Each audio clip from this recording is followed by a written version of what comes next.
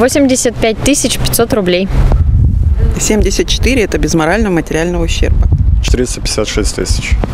В общей сложности 9 миллионов рублей должен этим людям экс-директор турфирмы «Перец Тур». Более 100 человек два года назад доверили этому туроператору свой отдых. Но вместо долгожданной поездки за границу люди до сих пор пытаются вернуть свои деньги через суд. У нас женщина, это, это было вообще, на втором заседании она рыдала. Мать троих детей поехала, путевку взяла, э, многодетная мать, взяла свою маму, себя, вот та действительно копила на отпуск, и Шмаков обнаглел, да.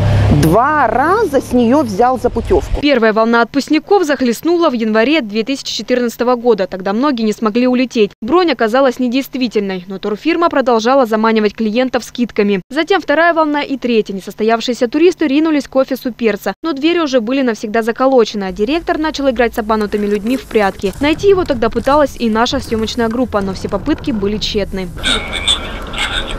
Так вот и мы дозвонимся постоянно. Не можем дозвониться. Уйти от ответственности мошеннику не удалось, его схема была раскрыта. Турфирма работала, прикрываясь именами известных туроператоров, однако, как выяснилось позже, они не имели к перцу никакого отношения. Деньги от продажи путевок поступали не на юридический счет, а на счет близкого родственника руководителя турфирмы с перчинкой Романа Шмакова. Выяснив горькую правду, правоохранительные органы завели уголовное дело и посадили мошенника под домашний арест до начала судебных заседаний. В какую страну вы собирались лететь? Страна Вьетнам. Тем временем, пока Роман отсиживался в домашних стенах, его клиенты пытались своими силами решить материальные проблемы. Алексей и еще 12 его друзей собирались вылететь за границу. Мужчина заключил договор с турфирмой и внес за путевки около полумиллиона рублей. Естественно, тур не состоялся. 16 мая я обратился к юристу, заключили соглашение, оплатили. 21 мая э, взял кредит, погасил все долги участникам моей поездки.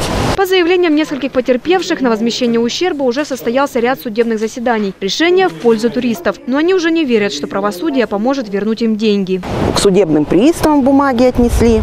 А судебный пристав нам бумажку прислал, что не в состоянии Шмаков выплатить эти деньги. У него их нет. Нет ни денег, ни имущества, ни совести. Спустя время некоторые потерпевшие с этим уже смирились. Но теперь они переживают, что мошенник получит всего лишь условный срок. Алина Черненко, Станислав Лазебный. Новости на восьмом.